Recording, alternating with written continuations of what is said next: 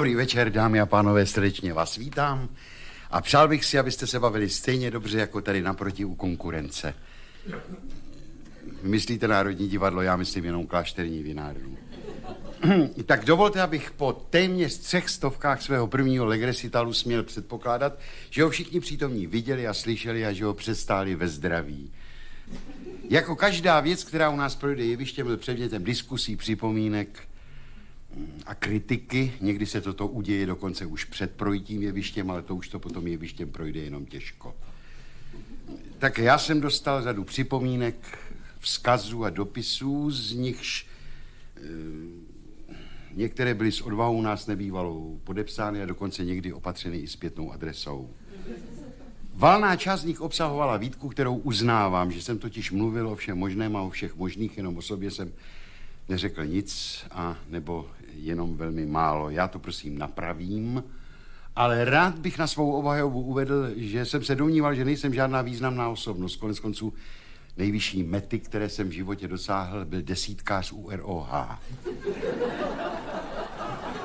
Avšak z tohoto bagatelizování sebe sama mě jaksi vyvedlo vysoké ocenění, kterého se mi dostalo udělením pamětní medaile ke stému výročí Národního divadla s tímto nápisem. Zaplesej dlouho svírané srdce české, zaplesej zbratřené s ním srdce slovanské, což sice nedává žádný smysl. A nevysvětluje to ani k medaili přiložený dekret. Ovšem, jako kromě pocty jako takové, to zvýrazňuje fakt, že jsem se stal významnou osobností, dokonce dekretovanou, s nárokem na vlastní životopis a s možností být jednou pohřben ve Slavíně. Nebo aspoň ve Veleslavíně, kam by to rodina měla o dušičkách blíž. E, nespichl jsem ovšem, nemohu doufat, že bych se stal historickou postavou, ze které by národ mohl čerpat příklad a poučení, dokonce ve slabších chvílích potřebnou potěchu a naději. Konec konců, když na koště navěsíte, kolik chcete metálů, titulů a vyznamenání, strom z něj stejně nikdy nebude.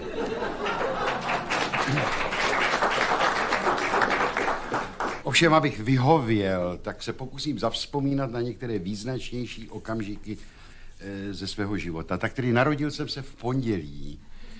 Někde jsem si přečetl, že světové továrny na automobily označují své pondělní výrobky písmenem M, podle slova monták nebo mandy, a prodávají je s určitou slevou, protože tato auta jsou po právě přestálém víkendu osazenstva závodu ještě o něco kazovější a mizernější než normálně.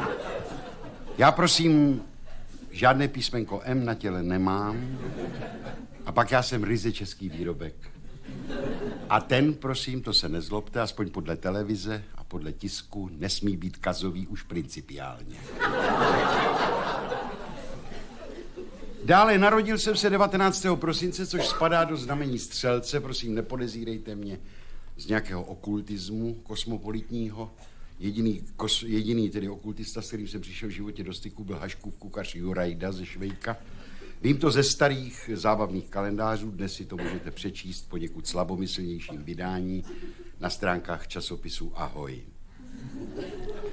Teprve později, řekl bych, jak z jakési stařecké zvědavosti jsem zatoužil po horoskopu individuálním, který přímo na sebe a požádal jsem dvě kolegyně, a sice Helenu Růžičkovou, která to dělá úplně primitivně z logru od kafe, a která mě vyhodila, že bych si prý dělal legraci, a pak eh, svou divadelní kolegyni Lubu Skořepovou, která zabrala a horoskop vypracovala. No tak vypracovala, no tak jsou tam nepotřebné pitomosti samozřejmě, jakože mm, třeba eh, střelec chce být svůj, nepřejímá od poslouchané, nepapouškuje, chce být originální. Tak nechápu, proč by mě příroda měla zrovna s tímhle posílat sem, že jo? Nebo že střelec se obklopuje rád pravdou, že rád slyší pravdu, mluví pravdu, ovšem není tam návod, kdy a kde se to dá tady použít. A pak to nejhorší, střelci přibývají zůstat státníci, politici, advokáti, předsedové vlád, prezidenti.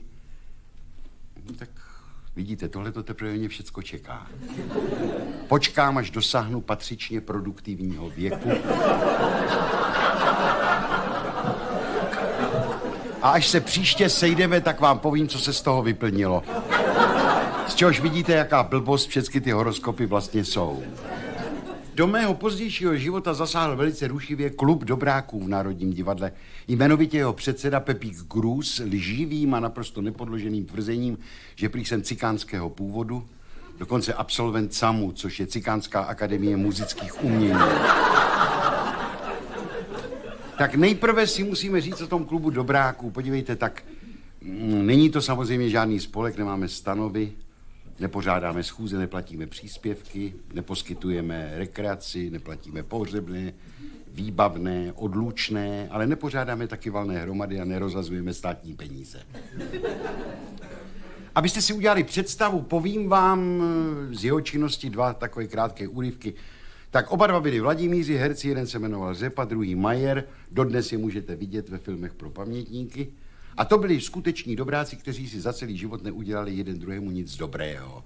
Takhle začátkem července dostal eh, Majer na prázdniny vody, ale dostal za tři dny dopis, úřední dopis lavičkou divadla, kde stálo vážený pane kolego, jedině provozní nutnost mě nutí, abych za vámi poslal knížku Shakespeareova Macbeta, a požádal vás, abyste se titulní roli během prázdnin naučil. Se zkouškami počítám koncem září s premiérou začátkem listopadu. A dovedně napodobený podpis šéfa činohry a Majer, jak se říká mezi rybáři, to spolkl i s navijákem. Přestali prázdninové radovánky, žádný koupání, maliny, houby, nic takového. Učil se, učil, až se těch 12 veršů toho Shakespeareova Macbeta naučil tak, že to uměl jako když bičem práská. Samozřejmě po prázdninách po návratu do Prahy v divadle zjistil, že šlo o obvyklé dobráctví, že žádný Macbeth nebude a vytušil taky, že zatím bude Zepa. Ovšem příležitost pomstě nebyla, Zepa měl dovolenou, filmoval někde v Krkonoších něco na sněhu, takže až koncem června dostal Řepa tento telegram. Přijeďte nedele 16.00, Revnice nad Razy, pretacíme jednu scénu ze zimného filmu, vlastní kozich, lize a sanky sebou. Podpis produkce filmu. No a tentokrát to řepa sežral s navijákem. Byly čtyři hodiny odpoledne, v červnu 30 ve stínu, peron v Řevnicích lidu prázdnej a po něm se procházel spocený blbec, který se občas podíval na hodinky a nadával. Když se blížila pátá, začali se trousit první Pražáci na zpáteční vlaky do Prahy. S obdivem zírali na toho idiota, který vláčel na jednom rameni, sáňky na druhém liže. Z otevřených dveří nádražní restaurace se vyrojil Majer rovnou k Řepovi a povídá, Ježíš Maria Vláďo, co tady děláš? A Řepa povídá, no tak filmaři něco zvorali v zimě na sněhu, tak to budeme tady předělávat na naftalínu někde. Teď se lek a povídá, prosím tě, co tu děláš ty? Ten povídá, já se tady doučuju toho tvýho blbýho Macbeta, ty Tak tohle je, řekl bych, dobráctví normální a mimo to ještě existuje takzvané dobráctví otřesné. Když už hra v divadle moc nejde, tak se prodá televizi a televize si to v ateliérech svých si to natočí a pak to vysílá jako záznam z představení. To znáte, že jo, z realistického, se Skanojmana, z národního. A my jsme takhle jednou před dávnými lety eh, prodali do televize komedii Lva Nikolajeviče Tolstého Plody osvěty, je to veselohra, a hráli v tom eh, ještě ty staří eh, matadoři, abych tak řekl, pan Smolík, Řepa, Průcha, Najman, Vojta, paní Baldová, paní Krombauerová, pan Štajmar, a kolegyně Skořepová dostala od manžela novou, nový filmovací aparát Admiru, osmičku, a chtěla si tyhle ty matadory, chtěla mít na ně jako památku, tak se přiživovala u kameramana, některé ty scény si, si privátně jako kradla, nafilmovávala. Najednou řekli Skořepová na scénu, ona položila kameru na židli, což neměla dělat, ať kolem se to hemžilo dobráky. Okamžitě to někdo popad, otočil jeden z osvětlovačů, otočil reflektor, Franta Filipovský si sundal kalhoty a my jsme mu ty prodloužený záda abych to řekl slušně, nafilmovali se všech možných úhlů a ze všech světových stran až do konce filmu. Kamera zase putovala na židli ticho po pěšině, to bylo v září, přišel říjen, listopad, nic se nedělo, až na hod boží přišla skořepka do divadla na odpolední představení, jako fúrie, blesky ve očích, pěnu u huby, začala nás řvát, tak vám pěkně děkuju, vy jste pěkný mizerové, včera na štědrý večír, moje rodiče, manželovi rodiče. Já to pustím, chvíli běželi ty plody osvěty a pak ta nestyda, to teda pánové, to už přestává opravdu všecko.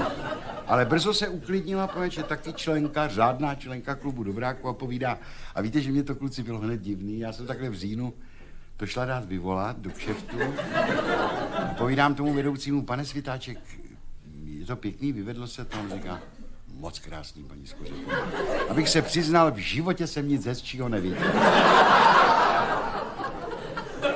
No a teď se vrátíme k tomu lživému nařčení z toho cikánského původu. Tak podívejte se, tohle to se rozkřiklo po všech divadlech samozřejmě, českých, moravských i sleských. A když jsem hostoval v hudebním divadle v Karlíně, tak najednou po představení jsem se odličoval, rázné zaklepání na dveře šatny, vplul tam vysoký důstojník SMB v uniformě, předal mě obálku proti podpisu na to utržení a obálka obsahovala kompletní cikánskou knížku se všemi podpisy a razítky, s 12 uvedenými nemanželskými dětmi a se zakázanými místy pobytu. Doporučuji k slednutí, je tam vystavena. Autor Míla Zavřel, úctyhodný člen divadla v Karlíně. Dokonce Radovan Lukavský, jinak seriózní člověk, který když potkáte na Národní třídě, tak máte dojem, že jste se střetli s personifikovanou akademií věd. Mě poslal učebnici romštiny, Pepi Kvelda knížku Cikáni jdou do nebe. Když jsem s Vladimírem Menčíkem hostoval jeho křesle pro hosta, vždycky ho mě prohlašoval, když mě představoval, že jsem děkan CAMu. Zrovna on, že jo. Ovšem o sobě zbaběle tvrdil, že študoval na Moravě v Ivančicích, což je blbost, pač tak jak Menčík vypadá, tak musel studovat nejméně v Ugandě u Rundy. A nic, nic na tom dostávám stále průběžně výstřižky z novin s fotografiemi svateb a pohřbů cikánských králů, z jejich inaugurací, takže jsem se stal opravdu průběhem let odborníkem na cikánskou problematiku. E, něco vám povím, ale jenom mezi náma. Víte, že mám cikánům docela blízko. Fakt, kdykoliv se s nějakým potkám, tak se na sebe líbezně usmíváme.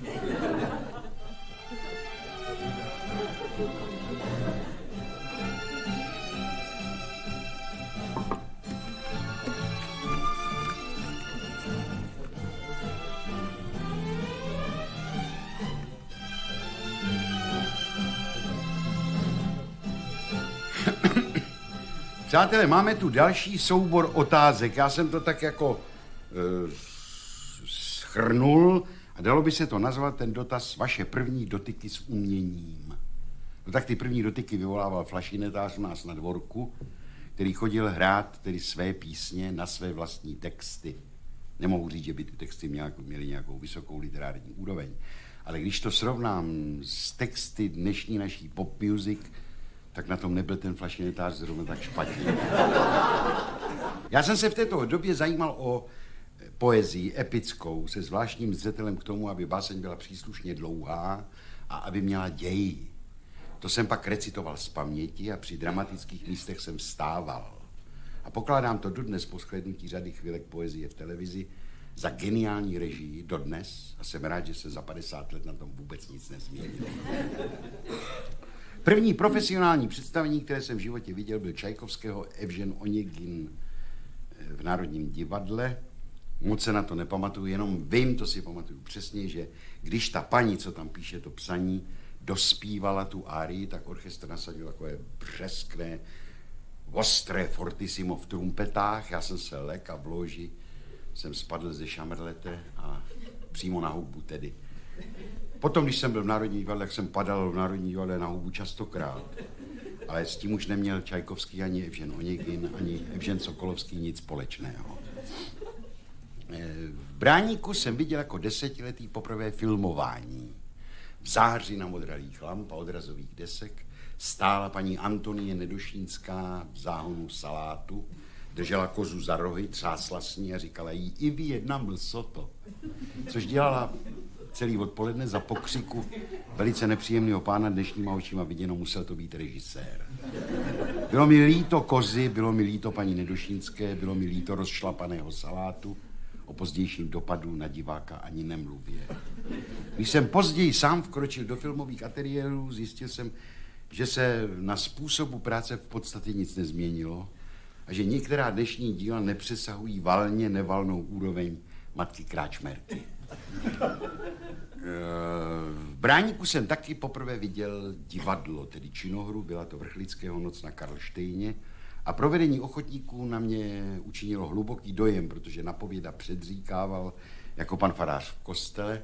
Císařovna Eliška měla ortoepických cvičení za sebou velice poskrovnu, protože zásadně titulovala římského císaře a českého krále Rostomile Kadle. A on sám, Karel IV. v civilu školník, o sobě říkal, že je smravedlivý. Hráli to, jak říkal mistr Eduard Kohout, sobě na úkor.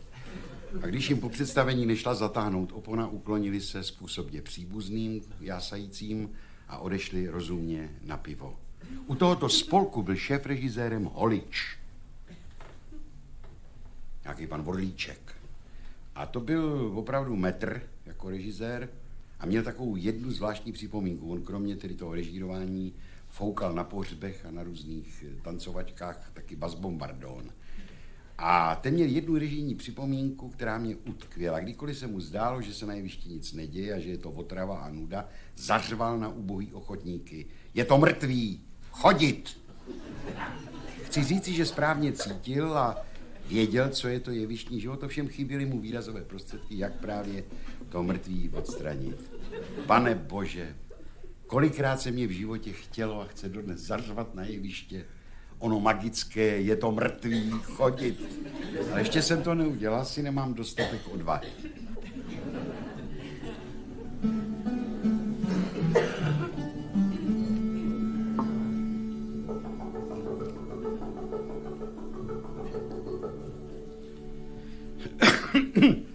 tak kdo nebyl přátelé katolického náboženství tehdy, které bylo povinné, měl jednu hodinu týdně volno, říkali jsme tomu okénko. A toho jsme my, ateisté a jinověrci, využívali k návštěvě velkých poutí na Karlově náměstí. No to byla nádhera.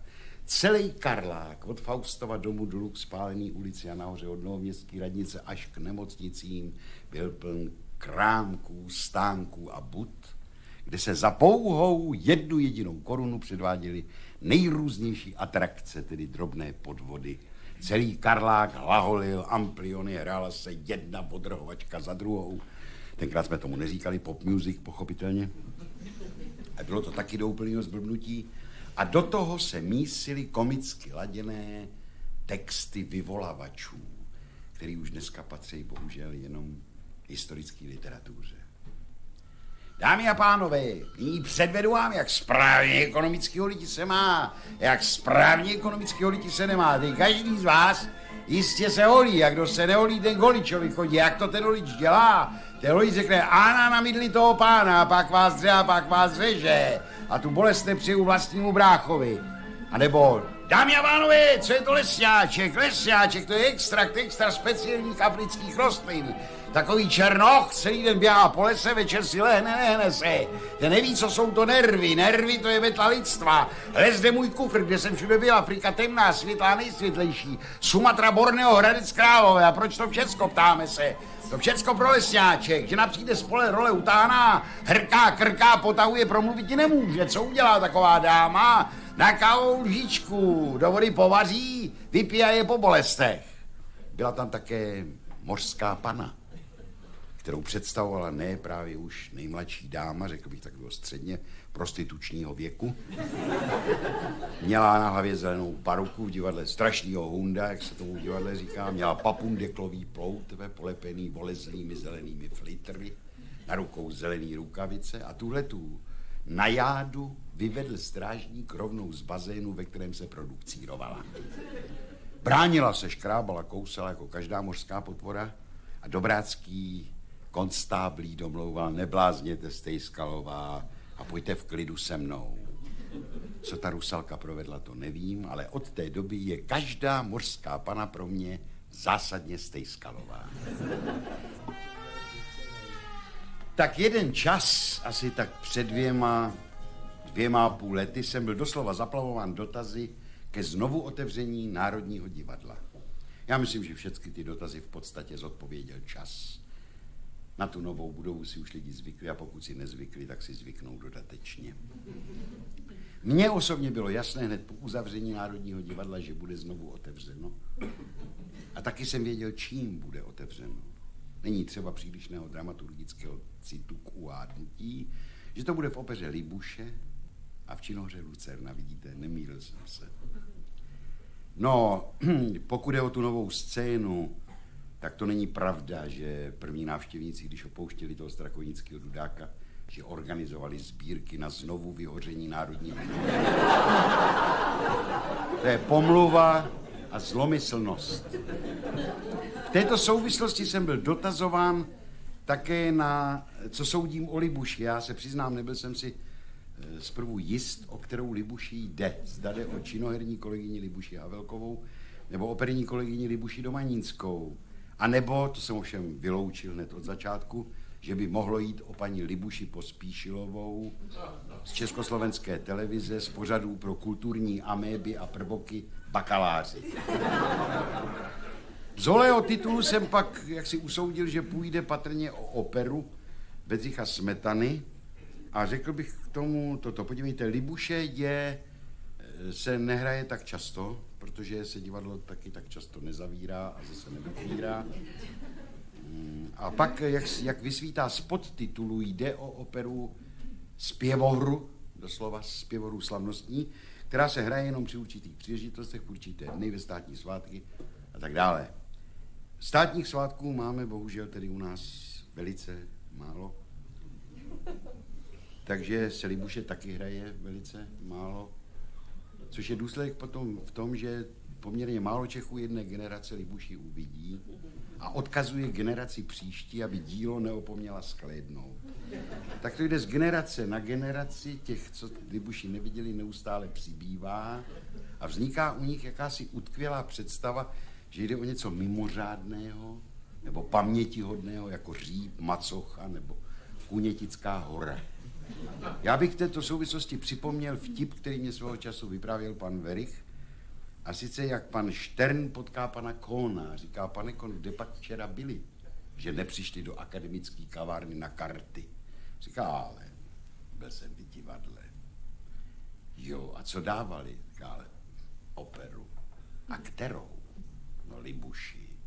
A jaký to je?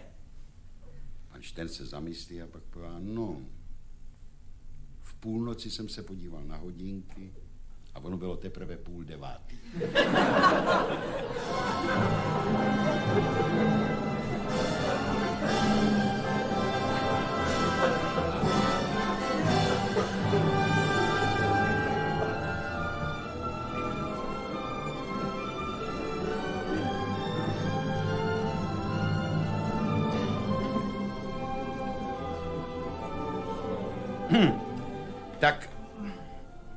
abyste, neze, abyste mi nezeslavnostnili, tak jedna dáma mi napsala, byla jsem na jednom představení, kde se herci pořád přezíkávali. Jsou za to nějak postihováni? Já nevím. No, řekl bych, že ne.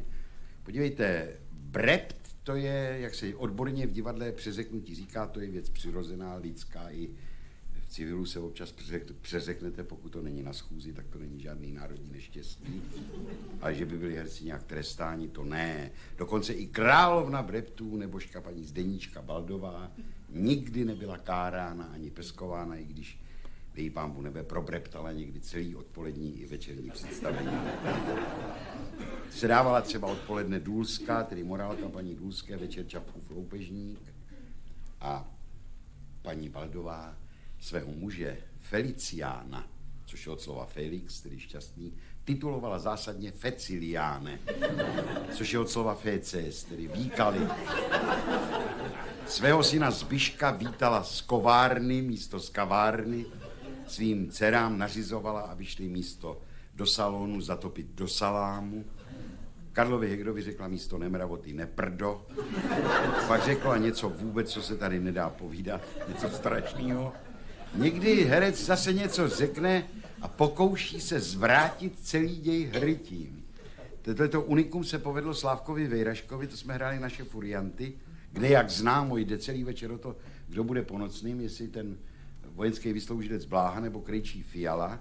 Slávek hrál, Vejraška teda hrál radního Buška v druhém jednání v té hospodě, kde, kde dojde k hádce mezi Buškem a tím vojenským vysloužilcem Bláhou a Bušek vzrušeně křičí na toho Bláhu. Cože ty mě, prvnímu rádnímu, budeš vyhrožovat? A Slávek třeba, že vůbec na žádný ponocenství neaspiroval, a taky ani nemá podle Stroupežnického, tak vykřik, cože, ty mě, ponocnýmu, budeš vyhrožovat?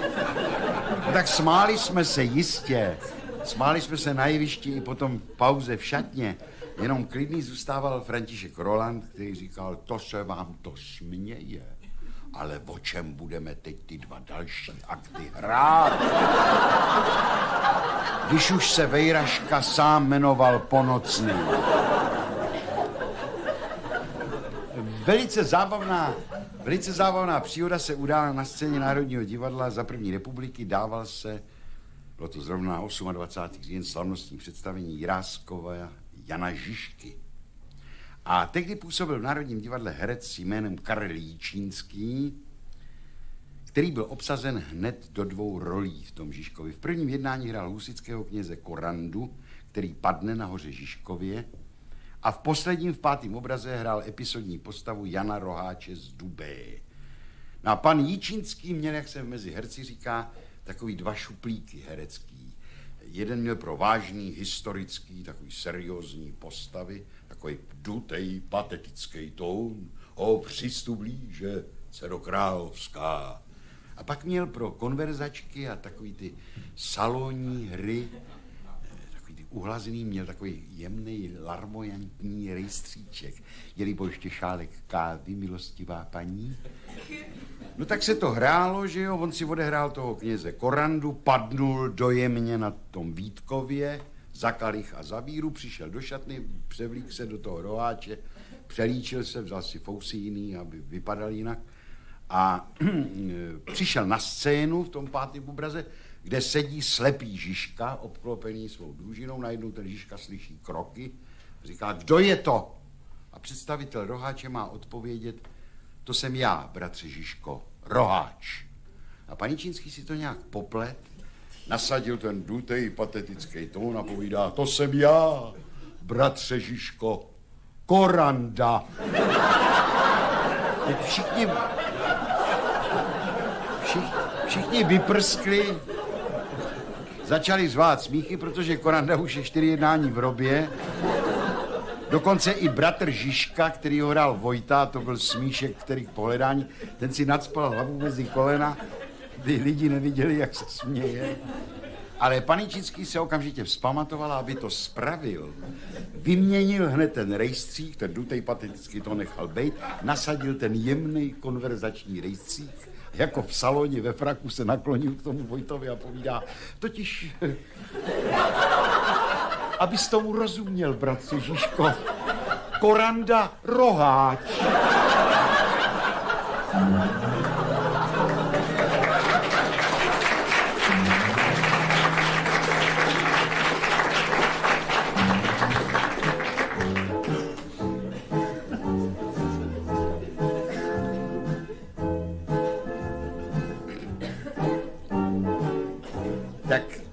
Dáma mě napsala, v legrecitálu jste se zmiňoval o milosrdné oponě v souvislosti s panem Štajmarem.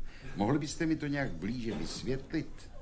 Tak to je za situace, kdy prostě e, už to není k poslouchání a lidi už jsou otrávení a v duchu se herci i obecenstvo modlej k pánu Bohu, aby udělal milosrdný skutek a spustil milosrdnou oponu. V některých divadlech se už dneska říká umilosrdnej. Kdy je indikována tato milosrdná opona? No tak mm, já vám povím o jednom takovém představení, bylo to kdysi dávno, hralo se to nakladně, Ibsenova strašidla, což je hra sama o sobě hodně dlouhá a herci to ještě tenkrát moc neuměli, takže se to táhlo, vleklo se to, konce to nebralo. A když hodně po 11. hodině večer smutný, tedy hrdina hry Oswald Alving, stížený nevylečitelnou pohlavní chorobou v záchvatu paralýzy, bloudil po jevišti s pěnou u úst a své slunce, slunce, tak se ozvalo z balkonu bodré hornické Ježíši Kriste, jděte už s tím do prdele. Starý pan Vidra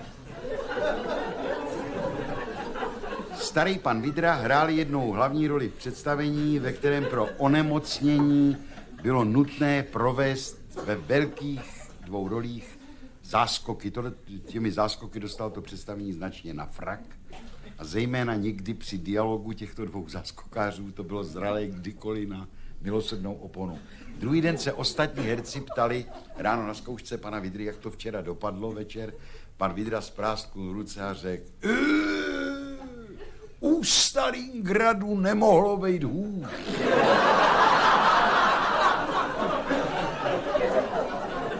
Já jsem, já jsem hovořil o té milosrdné oponě v souvislosti se záskoky pana Štajmara, ale nemluvil jsem, a to vám řeknu, o představení jednom, kde to bylo taky na milosrdnou oponu. A sice jedna eh, naše eh, starší kolegyně, nebudu jí jmenovat, znamenitá představitelka Treperent a rolí převážně komických zatoužila po roli vážné, po roli tragické, to se stává v divadle taky tohleto. A vymohla si svým vlivem prostě přes nějakého papaláše, že tu roli dostala a chtěla, aby eh, partnerem jí byl právě pan Štajmar, jenomže pan Štajmar byl náramně pán s frňákem, realista, chodil po divadle a říkal, co si to ta kráva pitomá vzpomněla, teď to vůbec není pro ní. A nebylo mu to nic platný, nakonec to hrát musel. Chodil nešťastný po divadle, chytal se za hlavu a říkal, to bude zase malér, teď to prosereme. tak jo, jedva paní na premiéře po chatrném úvodu, jak říkal Hilar, chatrném úvodu, spustila první vážný monolog, hned lidi věděli, že je to úplně vedle, začali do sebe šťouchat, kašlat, odborníci na sebe významně hleděli. Pan Štajmar se otočil zády k publiku a zvěstoval všem přítomným hercům na scéně a hustě obsazeným portálům a kulisám. Už se sereme. Už nám ani páp bude pomůže. Ovšem vrcholem, vrcholem všeho, aspoň já si to myslím, vrcholem všeho, co se ve Zlaté kapličce událo, bylo intermezzo v Bartošově hře Jura Ďábel, která se hrála jenom jednou jedinkrát. A o které nám strašně rád vypravoval neboštík Franta Roland, který byl očitý svědek tohoto představení a vždycky začínal, to byla premiéra a zároveň derniéra. No tak není to žádná hra zvláštní, je to normální propadák, že jo? A je to něco jako detektivka. Nikdo celý kus neví furt, kdo ten Juraj Ďábel je. Až nakonec, těsně před koncem, přijde četa četníků s velitelem a prostě žádají na starostovi, aby jim vydal svého syna, že to je ten Jura Ďábel. No a režíroval to pan vrchní režisér Karel Dostal, takový pedantní, prosil bych, aby to... A zkrátka pedant, Karel Heger mu říkal, že to je železná pěst v sametový rukavici, což byla pravda. A hlavní role hráli právě Saša Rašilov, toho starostu, a městského radního hrál František Roland, tedy dvojice k pohledání. Hned od začátku navíc neměli dostála moc rádi a oni je taky ne. Takže podle toho to taky na zkouškách vypadalo. Herci si z toho dělali srandu. Dělali si srandu z pana režiséra, on jim to oplácel, že jo, rajtoval na blbostech. No, znáte to, když si představený sedne na podřízený a ten mu to začne oplácet. Taky text hry byl takový podivně šroubovaný věty, nepřirozený, hemžilo se to přechodníkama, který na jeviště vůbec nepatří, archaizmama. No, ale dostal prostě, bazíroval na každém slovíčku a sám se obsadil do epizodní role velitele té četnické eskorty, která přijde nakonec toho Juru zatknout. Věnoval tomu celý jedno odpoledne, naskoušel parádní marš, příchod, parádní odchod a sám potom večer při premiéře nablejskaný jako velitel přišel, zasalutoval a řekl svůj text. Starosto, svého syna nám videjí, neboť on jest Jura Ďábel. Zde je zatyk. Šák do té četnický kožený brašny a s hrůzou zcepenil, protože listina, která měla představovat zatykač, v ní nebyla. No, Roland s Rašilovem na sebe významně pohlédli. Nebylo to ani třeba, protože okamžitě pochopili, že jim náhoda dala do ruky znamenitou kartu, že si schladějí na panu režisérovi žáhu a pomstějí se mu za všechny šikany při zkouškách. Do, do mrazivého ticha řekl Roland, a kde máš četníku zatykač? Dostal zaúpěl, nějaký, vždycky, když byl nešťastný, tak byl udělal zaúpěl a znova řekl, zablábolil ten text. Vydej nám svého syna, on je Jura, ďábel. Rašilov přešel pomalu celý jeviště, sem a tam a v duchu si sumíroval větu, aby to bylo taky tak blbý jako ten text. A pak řekl, nemaje zatykače, on ti syna nevydaje. A Roland, Roland se hned přidával a říkal, jak pravíť, pan rádní, nemaje zatykače, já ti syna nevydaje. Dostal, viděl, že je zle, tak se rozeběh, utek ze scény a za scénou utrh ze zdi první papír, který mu přišel do ruky. Na neštěstí to byl divadelní plakátek Národního divadla s tou červenou obrubou dole a nahoře. Přinesí vítězně, podal jí Rolandovi, Roland se na to podíval, dal to Rašilovovi, to byly strašné pauzy. Ten to otočil do publika, aby lidi věděli, že to je plagát Národního divadla a řekl, to toť není zatykač. Toť jaká stará divadelní cedule. Nemá je zatykače, my ti syna nevydaje. A Dostálovi povolili nervy, utek z jeviště a za ním jako horda z práskaných psů četníci a nakonec se ukázalo, že neodešli dveřma, ale v oknem. Já jsem si pro úplnost vypůjčil tuto hru v archivu a zjistil jsem, že v podstatě lidi tenkrát o nic nepřišli. V knížce stojí, četníci odvádějí Juru, městský radní podpírá zničeného starostu, do toho rychle opona. Takže lidi vlastně o nic nepřišli, tohle neviděli sice, ten, ten jak, jak, ale ani neviděli, jak vzadu za jevištěm podpírali oba dva inšpicienti pana vrchního režiséra, který v mrákotách říkal Apači, Apači. Jak to, jak to dopadlo druhý den v kanceláři, to nevím, o tom nikdy pan Roland tak je nemluvil, ale neboštík Honza Pivec, který vždycky malinko rád přeháněl, když tohle vypravoval, tak končil. Ráno, když gadroběři šli větrat kostýmy, našli toho autora v baleťáku, zamotanýho do kostýmu z Mariši, měl skleněný, vytřeštěný oči a opakoval jak gramofonová deska žalují ředitelství, pana režiséra a všecky pány herce.